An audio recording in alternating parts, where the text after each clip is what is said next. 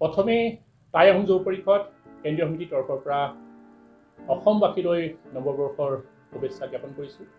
যাতে নতুন বছৰটো সকলোৰে সুখ শান্তি সমৃদ্ধি যাতে ভৰি পৰে কিন্তু এটা দুখৰ বিষয় আমি এক তাৰিখে বাইছ চনৰ এক তাৰিখে এটা দুখৰ বিষয় এটা বেয়া খবৰ শুনিবলৈ পালোঁ যে জনজাতিকৰণৰ যি প্ৰতিবেদন সেই প্ৰতিবেদন কেন্দ্ৰলৈ পঠিয়ালে অসমখন ৰক্তাক্ত হ'ব বুলি আমাৰ মুখ্যমন্ত্ৰী ডাঙৰীয়াই সংবাদ মাধ্যমৰ যোগে ৰাইজক অৱগত কৰিছে।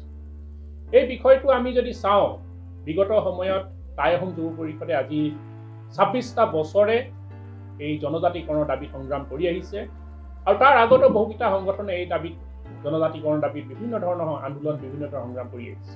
কিন্তু আমি দেখিবলৈ পাইছোঁ যে দুহেজাৰ চৈধ্য চনত যেতিয়া নৰেন্দ্ৰ মোদী অসমলৈ আহিছিল সেই সময়তে এটা ঘোষণা কৰিছিল যে কেন্দ্ৰত যদি দিল্লীত যদি বিজেপি চৰকাৰ হয় তেতিয়াহ'লে ছয় মাহৰ ভিতৰতেই ছয় জনগোষ্ঠী জনজাতিকৰণৰ লগতে আহোমসকলক জনজাতিকৰণ প্ৰদান কৰিব এতিয়া কথাটো হ'ল বৰ্তমান অসমত বাস কৰি থকা যিসকল জনজাতীয় লোক আছে ট্ৰাইবেল সংঘ বুলি তেওঁলোকে এটা সংঘ বনাইছে এই ট্ৰাইবেল সংঘৰ বিৰোধিতাৰ কাৰণেই বোলে আহোমসকলক জনজাতিকৰণ প্ৰদান কৰা নহ'ব। এনেধৰণৰ কথাখিনি আমি শুনিবলৈ পাইছোঁ।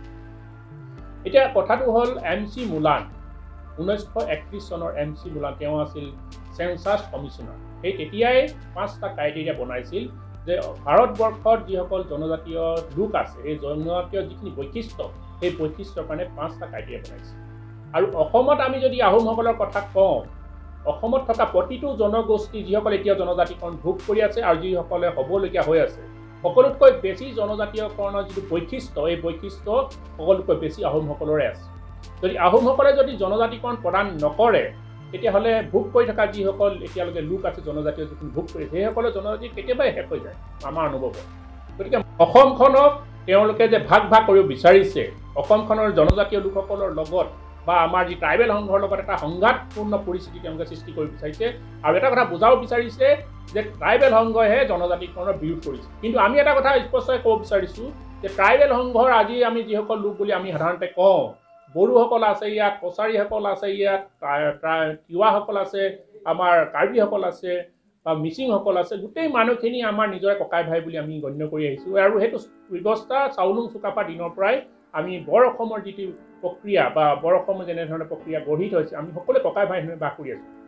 কিন্তু অসমখনত আজি তেওঁলোকে আমাৰ মাজত নিজৰ জনগোষ্ঠীৰ মাজত ককাই ভাইৰ মাজত ভাগ ভাগ কৰিব বিচাৰি আছে। আৰু দ্বিতীয় কথা হ'ল ট্ৰাইবেল সংঘৰ পৰা আমি কোনো ধৰণৰ জনজাতিকৰণ বিচৰা নাই। আমি বিচাৰিছোঁ ভাৰত চৰকাৰৰ পৰা য'ত সংবিধানত লিখিত আছে যিকেইটা ক্ৰাইটেৰিয়া পাঁচটা ক্ৰাইটেৰিয়া লিখিত আছে আৰু ঊনৈছশ একত্ৰিছ চনতে যিকেইটা গৃহীত হৈ আছে। গতিকে যিখিনি বৈশিষ্ট্য আমাৰ আছে সেই বৈশিষ্ট্য থকাৰ পিছতো চৰকাৰে আমাৰ লগত মানে সাধাৰণতে কোৱা হয় ৰাজনৈতিকভাৱে খেলা কৰি আছে বুলি আমি অনুভৱ কৰিছোঁ।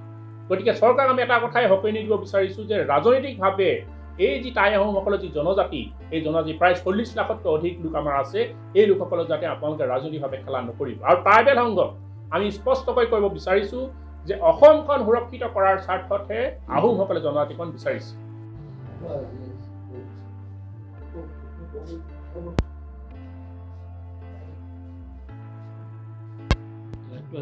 আছে ন